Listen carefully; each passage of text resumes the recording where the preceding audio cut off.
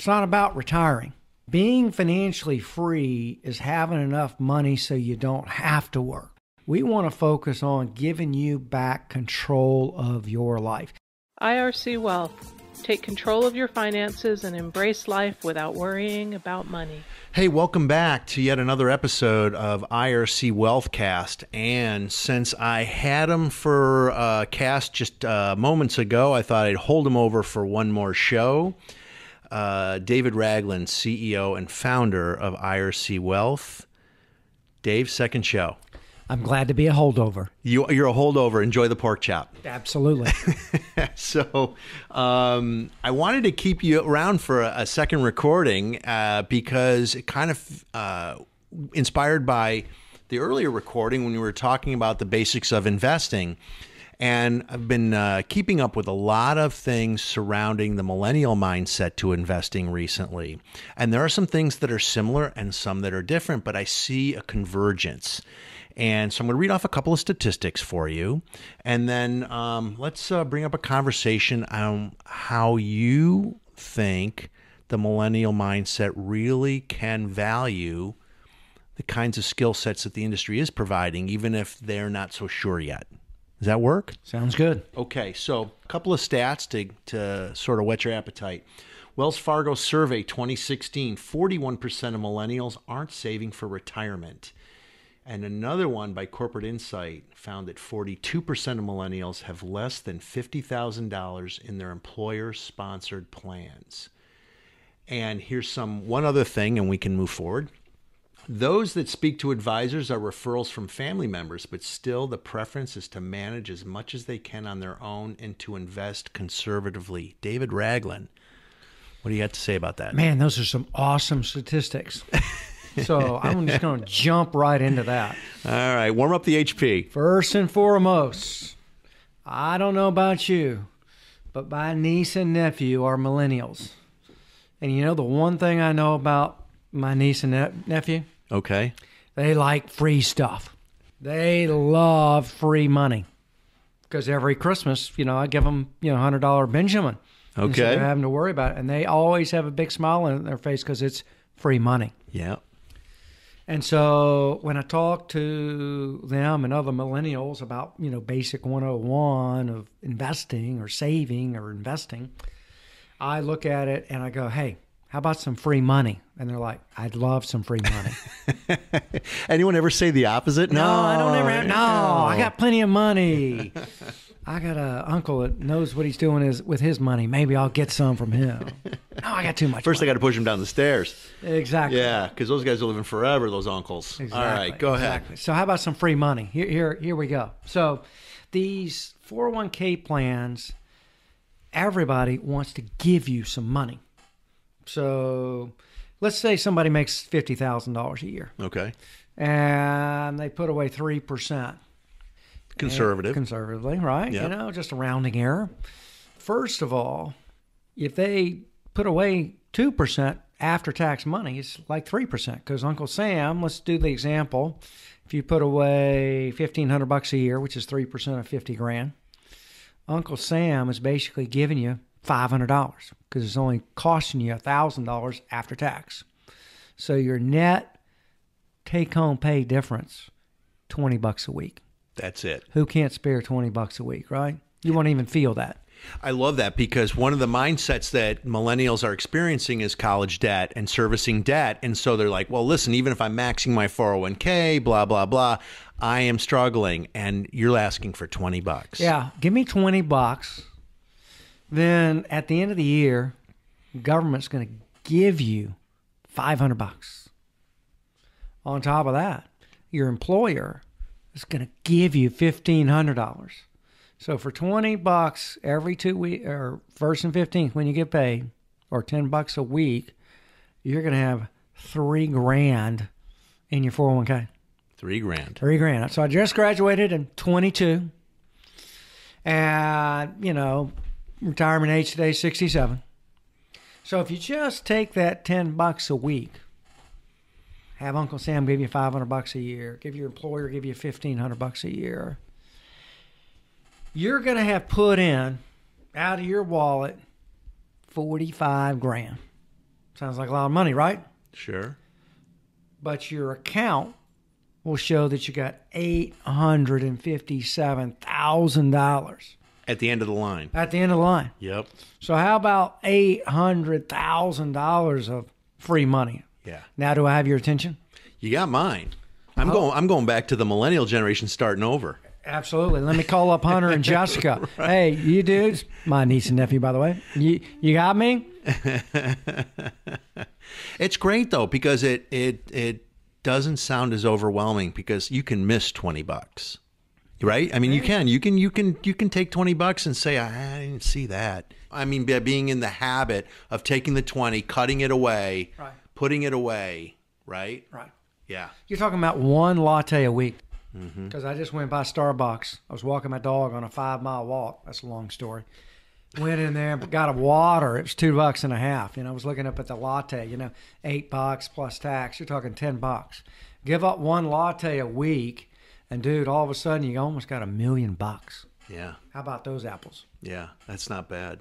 Starbucks won't like that, but you know they'll they'll find their money somewhere else. Yeah, they're already making enough. Yeah, yeah, right.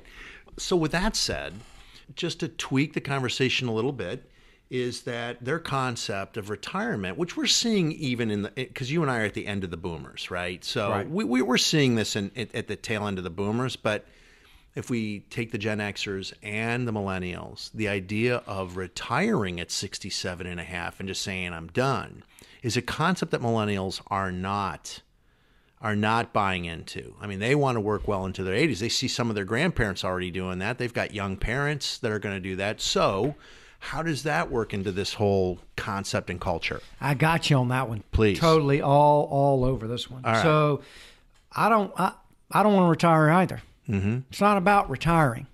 Okay. Being financially free is having enough money so you don't have to work. Mm-hmm. See, people who are working today because they have to, you know, they get up, they kiss their wife, they go to work, they come home, they kiss their dog, go to bed. They get up, kiss their wife, go to work, come home, kiss their dog, go to bed. You know, they're on the proverbial treadmill. Mm-hmm. You know, they're just The wheel. They're on the wheel, whether you're a hamster or a dude on the treadmill. You know, what we want to focus on is not retirement. We want to focus on giving you back control of your life. You may think today that you're in control, but really, your only decision making is whether you go to Chipotle or Wendy's for lunch. Mm-hmm. Because why did you get up to go to work today, Junior? Because I had to. I got to pay my student loans. I've got to, you know, I've got to pay my mortgage. I got to pay my rent. So you may think that you're in control, but you're not. You're living in the matrix. Now I know that movie was 10, 15 years ago, but it's a classic. You think they were putting 20 bucks away every day? I, I certainly hope they weren't. You know, if they were putting it away, they were good. But I mean, that's the concept that you have. If you really want to talk true financial planning, go do some binge walk uh, watching of you know the Matrix, and understand that right now you're living in the Matrix. You don't really have control of your life. Everybody asked me the other day, "Man, you seem like the happiest guy in the world." I said, "I am. What are you talking about? I don't have to do this." I was mm-hmm. talking to a client. He's like, "What do you mean you don't have to do this?" I said, I'm not here because I have to have to come to work. I'm here because I want to be here. Mm-hmm. And wouldn't that be cool doing what you really want to do instead of what you have to do to earn a buck? So to extend that conversation, millennials, from all my research, they are they're considered a couple of things. They're the most educated generation to date. And also that they're very entrepreneurial, they're problem solvers. And so a lot of them think that well we're you know, some of your concept right there was based on me working for somebody else, right? I'd be working for somebody else. They're saying, I want to build my own business up so that I have more control of my life. So is there a way to oh. merge the two the business the dream of owning the business to have that control plus what you just went the road you just went down which was the wealth control Oh, absolutely. And, you know, there's no question you have higher potential wealth building if you own your own business. Mm-hmm. Because you got to remember, working in a business, you're an employee. Your Now, wholesale Yeah, a- and so if you own the business, you're paying yourself generally a salary to be the employee, but you also get the profits at the end of the day.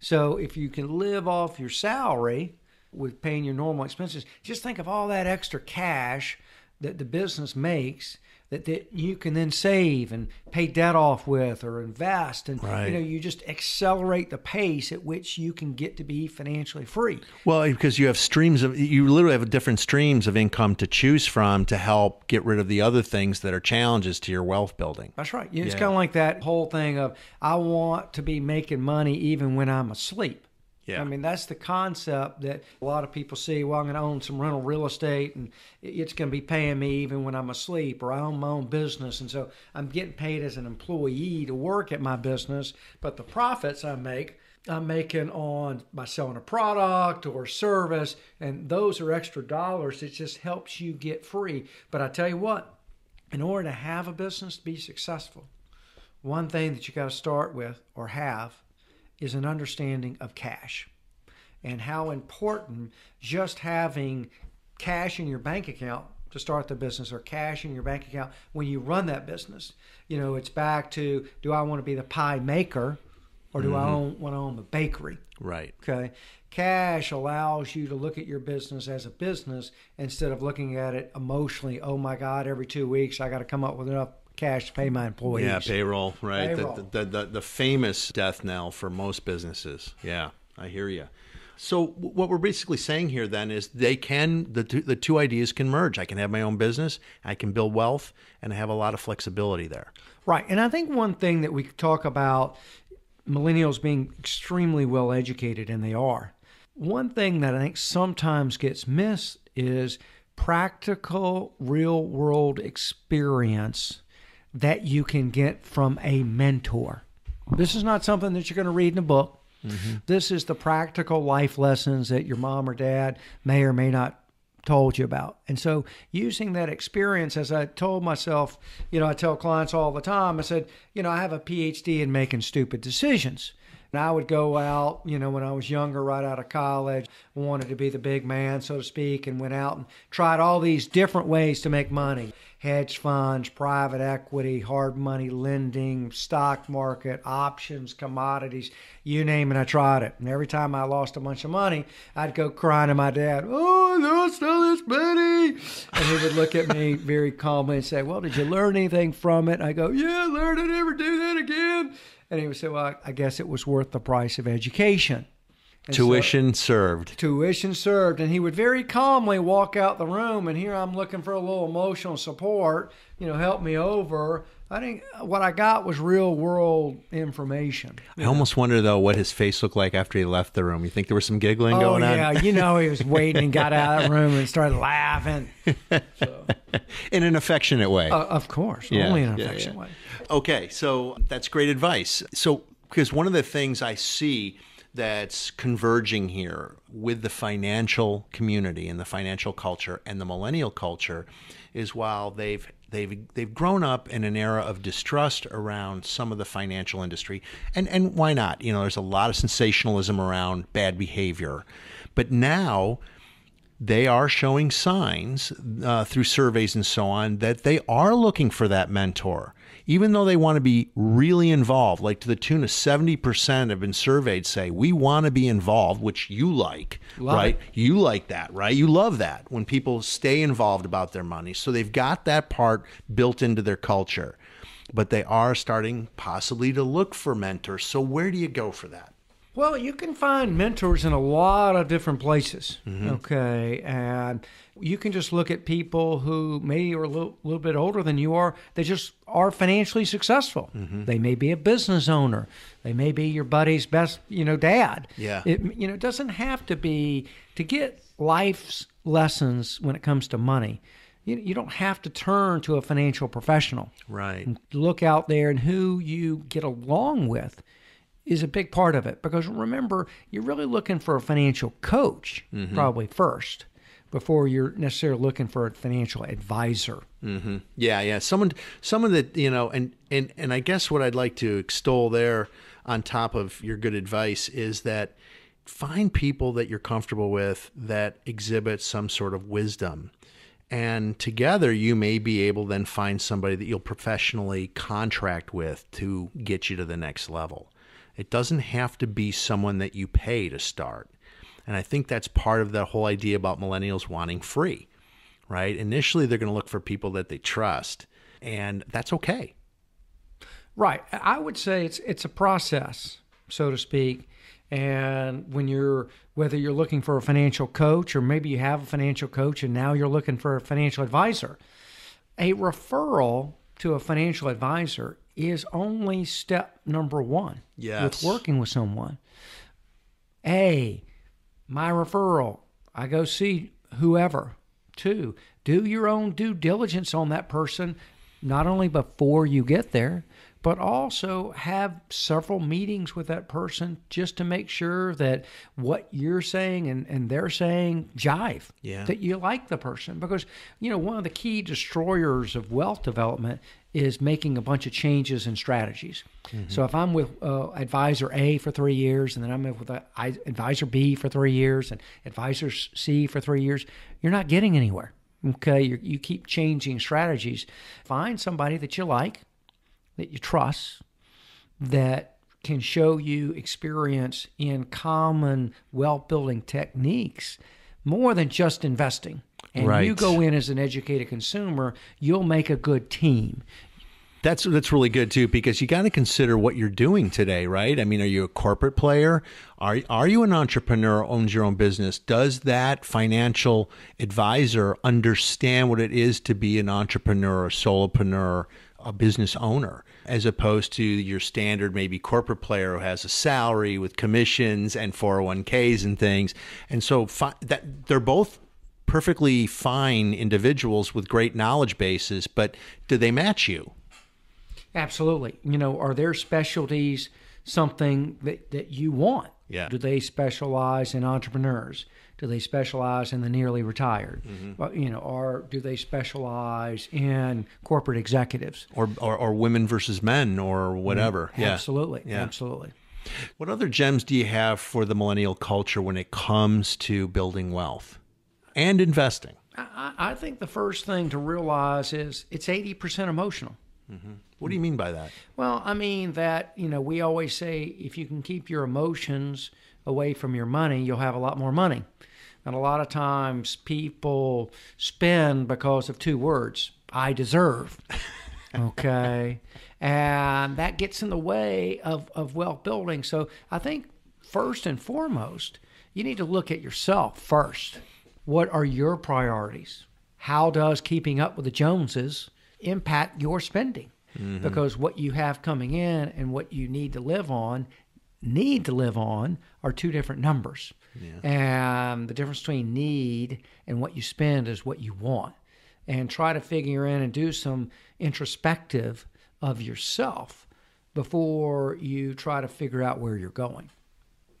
Yeah, I, I like that. I also think, though, that to better understand your own agenda is to better assist a, pro- a professional. And we've talked about that, right? I mean, to understand what you want out of money and what money will, how money is supposed to serve you in life helps your financial planner assist you in getting where you want to go. Absolutely. And everybody talks about net worth, net worth. What's my net worth? How much am I worth? Well, just realize that your net worth and your self worth are two totally different topics. Right. Okay. And when you can disconnect those two, then you end up a lot of times having a whole lot more money because you don't put money first anymore. Okay. And with the millennials, more experiential generation mm-hmm. versus the boomers, then that is a common theme that we see with working with millennials is trying to really become introspective of what money means to them, what experiences that they prioritize. Find that out first about yourself, whether that's talking to your coach, talking to your friends, talking to your mentor. That will help tremendously your ability to work with a financial advisor or your ability to do it yourself. Yeah, and I think eh, eh, you know that's great stuff. And I think too the one commodity that they have that they have an advantage on right now is time. And when you go back to your ideas on, or not your ideas, but the science of compounding, right? That any kind of movement at this point is going to just serve you so much better, serve you well, you know, 40, 50, 60 years down the road. You, you got to get in now and get in the mix. Oh, no question about it. If, if your employer does give a little bit more match and you say, well, if I'm giving up $10 to get 857,000, how much will I have if I give up fifteen dollars a week? Yeah. Well, you're going to have a whole lot more than eight hundred fifty-seven thousand when you give up another five dollars. Yeah. Another five dollars doesn't seem like a lot, but it's fifty percent more per week, and you're going to have a whole lot more money than eight hundred fifty-seven thousand if you give up a little bit more money. Yeah, and I'm going to say that that's a that's sort of a, a I don't know, a highlight on some behavior we're already seeing in that space. You know, they are using tools like Acorn and and Stash to you know uh, to put away small amounts of money just to keep that muscle memory on saving going, and I love that. I love that they're because they're they're enamored with technology, and if technology is what's going to get you there initially, then fine. But don't miss the opportunity to have your employer or even your own business serve you up with a steady flow of retirement savings. Absolutely. I guess at the end of the day, we all recognize out there that the idea of retirement is, in and of itself, aging. You know, the idea of working for 60 years and hoping to have a 20 year party at the end of that and not dying before you get to use all that money is a way of the past. And working longer and staying active and go, go, go is what millennials are challenged with, but it is doable. I totally agree. Any other gems for these folks uh, before we call it, Dave? Well, I think that using technology is very good. And also, I would add on, you know, life is about making decisions. And you're not going to become financially free by making one good decision, nor are you going to be in the gutter by making one bad decision. It's about the more you know, the better decisions you make, and making a series of good decisions. It's not an all or nothing. It's not Hail Mary. It's hitting a lot of singles. Mm-hmm. Okay. It's running the ball on first down, as they say. Well, I really like that. And I think that's worth closing it out. Can't do much better than that right there. And I will say thank you Dave Ragland for uh, your second show, much different from the first show. And uh, how do people find you and IRC? Well, I'm getting even better at this now. You can find us or our team at ircwealth.com. You can find us on LinkedIn, Twitter, Facebook, YouTube, and Spotify. All but the last one, but you're doing much better. In fact, pretty soon I can give this mic up entirely. Um, I'd like to drop the mic here uh, after that. But yeah, folks, look, our fearless leader is getting better at that. And I just want to round it out by saying we have original content created every week in the form of a blog or podcast like this. We are on iTunes. You can come out and subscribe to us. You can always come out to uh, ircwealth.com and find original content by subject matter experts like David here. And you can, I'm getting waved off. No, I just wanted to make one more comment yeah, go. about all that great content that we have. Yeah. It's free, just like the employer match. It's free. he loves free. So come on out and visit us, all right? Don't be a stranger and get educated because that's what we believe in. Thanks, Dave.